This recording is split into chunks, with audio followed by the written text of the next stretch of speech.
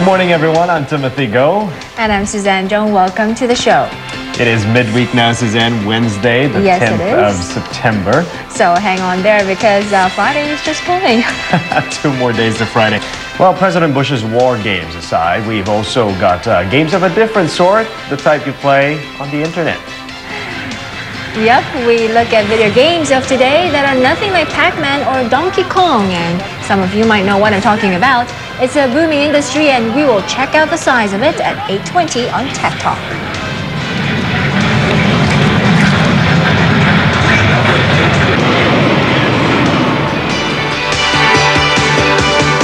Well, time to have fun now here on Primetime Morning, Suzanne. Yes. And do uh, does anyone of you recall the name Atari way back in the late 70s or video games like Pac-Man? No idea. Uh, that I know. Space Invaders, Donkey Kong? Well, I do. I used to play Space Invaders myself.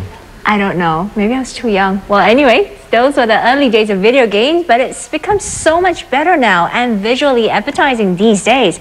Now, uh, those of you who play games will know what I'm talking about. The graphics today are great, the music is impressive, and the games themselves so realistic, you feel you're watching a movie. Well, in fact, some of them have uh, actually spun off to becoming big blockbuster movies Tomb Raider, Matrix. Well, the video game is now a major industry in itself. It's being called the single largest entertainment industry with sales surpassing movies, home videos, and theater. Well, so big, it's so big in scope, we decided to take a look at them this morning That's and uh, right. find out why.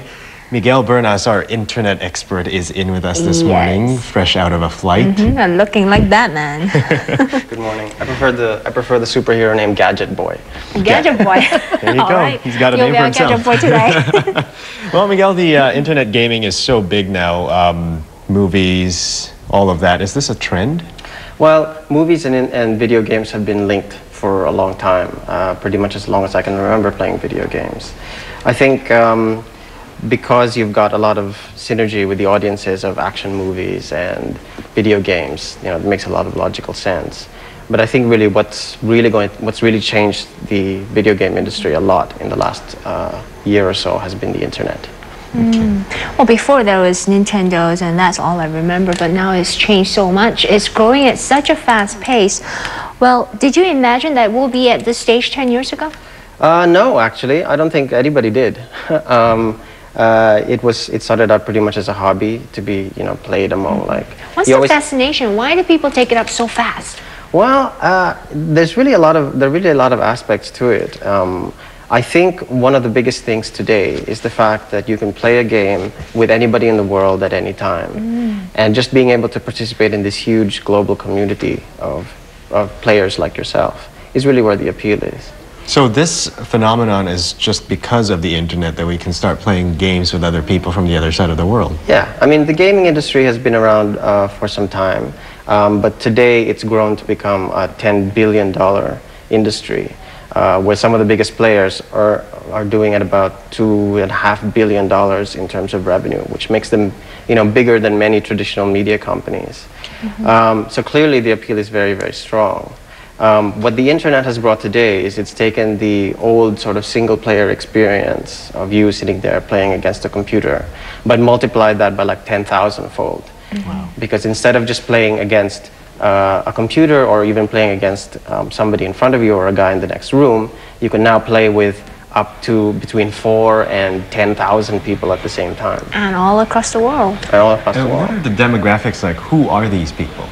Uh, I have an interesting story about that. I remember a friend of mine uh, was telling me about her son, and she was very worried because she said, um, I found out that my son was playing this online game, And how old is son? uh, 12. Oh. And, he, she- and she said she was, he was playing with this 35 year old man. and, and, and saying, What kind of man plays a game with a 12 year old boy? And I, and I sat there and I said, uh, Are you sure that wasn't me? Now we know your age, all Well, right? hey, I think it's better for uh, little kids to play with internet games than surf other uh, porn or porn websites or something like that Well, online. yeah. You know. yeah, I mean, the, it really is. It really is very catchy, and you know, the barriers to getting into gaming uh, are fast disappearing. It used to be that you had to buy a game in a box. And Let's get into the fun side and talk about which are the games that are making the Uh, for me, one of the games that I'm there, there's a couple of titles that I'm I'm very excited about. Um, they go from a range of very very simple games. Like if you go on Yahoo Games, you can play backgammon or poker with somebody, or Who Wants to Be a Millionaire. Right. All the way to like very complex, massively multiplayer online role-playing games or MMORPGs. as they I remember when I was you- um, just one question that uh, uh, the uh, letters that you brought up there, what are they? Well, multiplayer games have, have been around. Uh, it's a fairly recent thing, development in the industry. Um, in just the last, uh, you know, w- within the last five years. What's changed because of the internet is uh, another dimension called massively multiplayer online gaming. That means instead of just playing with between two and four people, you can play with up to 10,000 people within the same gaming environment. Mm-hmm. So this is MMOG that you're referring Yes, to. and there are games, for example, there are there are titles in China. On one title alone, you can have as many as 750,000 concurrent players. That means 750,000 people playing the same game at the same time. Mm-hmm. And what? How, how do they do that? Do they take on different roles in? in Yeah, the essentially what it is is the, they're role-playing games. So essentially, you create a character, you pick what the character looks like, and you. The longer you play the game, the more powerful your character gets, the mm-hmm. more skills he acquires, the more weapons he gets, etc. I remember when I was in college back in Korea, every student, every male student that is, the females were not into uh, computer gaming, but every guy was hooked to the computer playing StarCraft. That Yes, is the name that I recall. StarCraft was actually one of the uh, earlier breakthrough games in, Right. in multiplayer online gaming. Uh, the recent title out of that same batch is, of Mm-hmm. course, called Warcraft. Well, but the amazing thing is now we have companies that are consulting companies for these gamers, and we also have some of them turning professional, and it's become their job. there, there are their life. computer I mean, studies or uh, uh, computer video game studies in Exactly. universities now. I think. Yes, uh, that's true. I mean, if it's a $10 billion industry, that kind of makes sense. And at the rate uh, everything is growing right now, um, in China they predict that the industry will grow 115% year on year, and it'll be a billion dollar industry by 2006.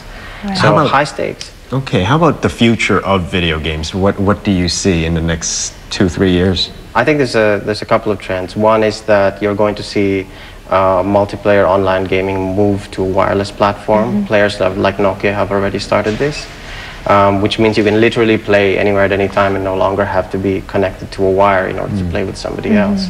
I think the other trend is that you're going to see more and more uh, games out of Asia. Um, online gaming is predominantly right now an American thing, Right. uh, with all the big players being out of the U.S. But Japan and China are growing markets. Uh, Japan is uh, has is a very big player, and now Korea and China are emerging as very very big players Wow, okay. uh, with titles like Ragnarok and things like that. All right, so. Asia is taking the wave with uh, web games. Just like in games. every other industry, Suzanne. Thank you very much for joining us this morning, Miguel. Thank you. That is through Asian Eyes for now. Coming up next, a weather report, and then Primetime Morning Asia Today with Suzanne Jung and the latest in the uh, developments out in the Middle East. But as for me, I'll be back in an hour on the first edition of The World Today. I'll see you then.